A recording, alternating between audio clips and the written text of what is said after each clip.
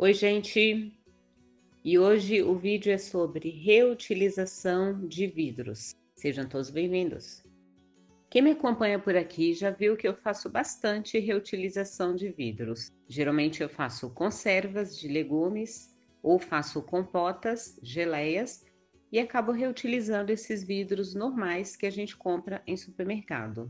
Você está chegando agora? Se está chegando agora, inscreva-se no canal, assista o vídeo até o final, deixe o seu like, deixe um comentário e venha fazer parte do Receitas da Léo. Fica aqui comigo até o final que eu vou dar uma dica para você como tirar essa cola do rótulo dos vidros. Eu não filmei aqui porque em outro momento que eu retirei essa cola, mas é muito rápido. Pode fazer que funciona.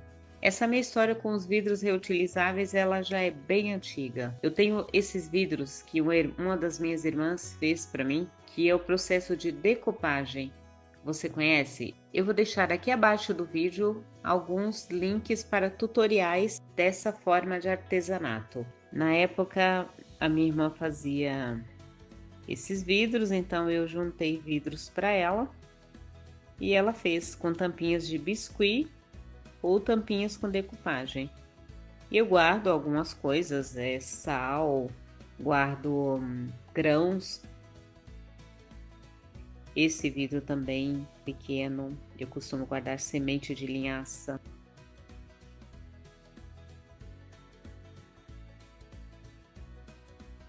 E esses pequenininhos eram vidros de geleia.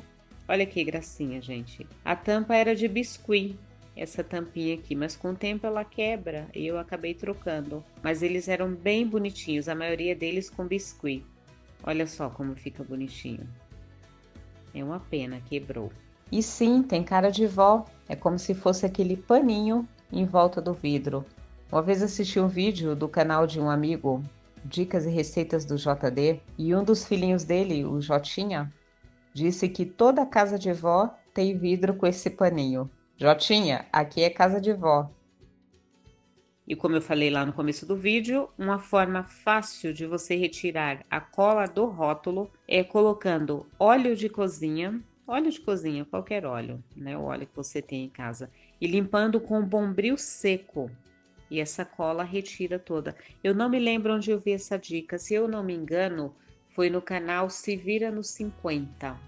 Tem, eu sei que tem outros métodos, né? Antigamente eu colocava em água quente também, você pode deixá-lo em água quente de escola, mas esse do bombril com óleo é maravilhoso, é muito rapidinho, gente. Os vidros que eu gosto bastante, esses aqui de tampa de alumínio, porém ele costuma enferrujar. Então, quando você for lavar, é importante que você passe o bombril nessa parte da vedação, porque ele fica marcado, né?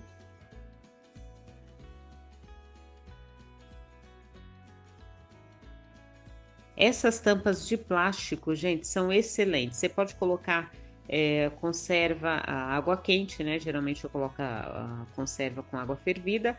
Então pode colocar normal, não tem problema nenhum. E geralmente são os vidros que eu compro mel, são ótimos também. São os vidros que eu mais gosto.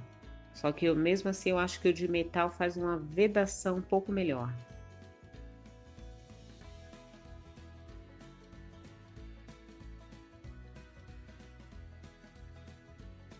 E esses pequenos, gente, esse aqui foi de uma geleia artesanal que eu ganhei e eu costumo usá-lo para colocar geleia mesmo. Eu faço outras geleias e coloco. Vamos lá para esterilização. Coloque água para ferver. Enquanto isso, lave os vidros com detergente e bucha comum. E conta aqui para mim nos comentários se você também faz isso. Deixa aqui a sua opinião sobre a reutilização de vidro, se você acha legal, se você não gosta. Deixa aqui seus comentários para mim.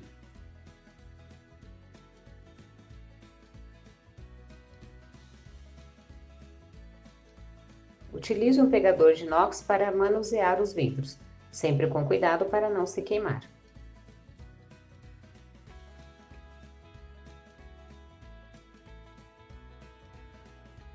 Os processos de esterilização, dependendo da panela que você utiliza, você precisa colocar é, pano, né, um pano de prata, alguma coisa, para que o vidro não uh, bata um no outro conforme a água ferve.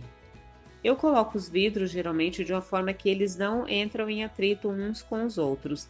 E uma outra questão também é diminuir o fogo. Você deixa a água ferver bastante e depois que você coloca o vidro, você diminui uh, a chama do fogão.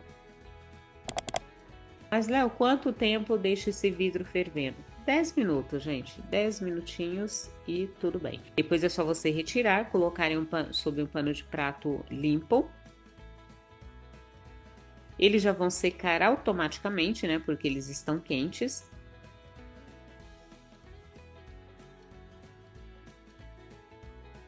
Se ficar algum resquício de água, alguma coisa, você passa um pano de prato bem limpo também.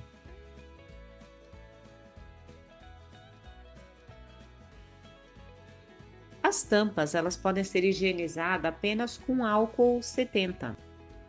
Mas caso você prefira, pode também ferver as tampas.